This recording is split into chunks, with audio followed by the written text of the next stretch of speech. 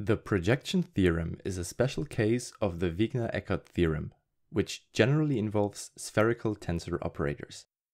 If we consider one example of a spherical tensor operator, a rank 1 spherical tensor, we can derive a powerful theorem which states that expectation values of vector operators are proportional to expectation values of angular momentum.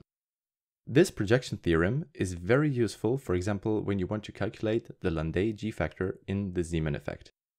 To begin our derivation, let's consider those two matrix elements here, where A is a general vector operator and J is the angular momentum of the system. In the bra and ket states, J and M are the quantum numbers of angular momentum, and alpha represents all other quantum numbers which do not play a role here. Now, since a vector operator is a spherical tensor operator of rank 1 with components q, we can apply the Wigner-Eckart theorem here. We get a Clebsch-Gordan coefficient as well as a reduced matrix element, which is basically just a proportionality factor. For more information on the reduced matrix element, you can watch our video on the Wigner-Eckart theorem. Note that we can take alpha to be equal to alpha prime in the second line, and the Clebsch-Gordan coefficient is the same. This is important because we use the fact that the Clebsch-Gordan coefficients are the same in order to substitute one equation into the other.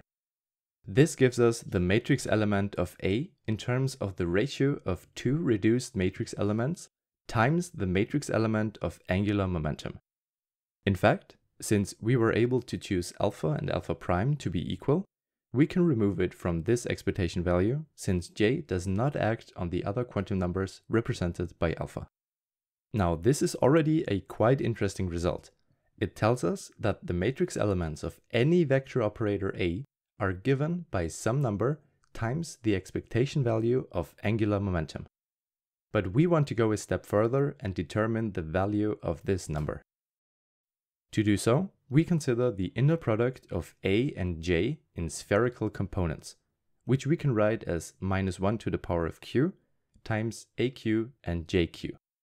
For more information on spherical components, you can watch our video on spherical tensor operators. Next, it's important to know that the plus and minus 1 spherical components of angular momentum are equal to minus plus 1 over the square root of 2 times the ladder operators j plus minus, which are given by the x and y components of angular momentum. Again, just to be sure, we denote the spherical components with a plus minus 1 and the ladder operators just using a plus minus. And also, J0 is simply Jz. Now we can calculate the matrix element of A times J, where we separate into spherical components. After applying the ladder operators onto the states with certain J and M, we get three terms. Now, since all three of them contain the matrix element of one component of A, we can use the Wigner-Eckart theorem here again. Those matrix elements are given by a certain Clebsch-Gordan coefficient times the reduced matrix element of A. Now comes an important observation.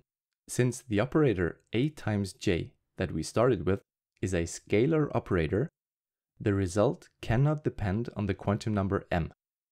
Since the reduced matrix elements do not depend on m anyway, this means that the m dependence in the coefficients must cancel each other, such that we can write everything as some constant that may depend on j but does not depend on m or the vector a times the reduced matrix element of a.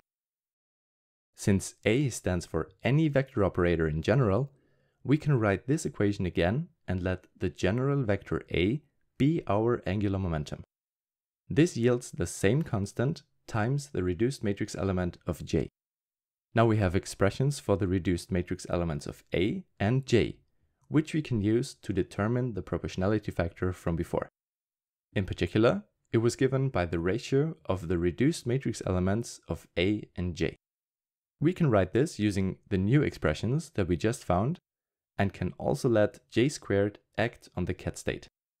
Using this expression, we have successfully derived the projection theorem for any vector operator A. And that's pretty much it for this video. Thanks for watching.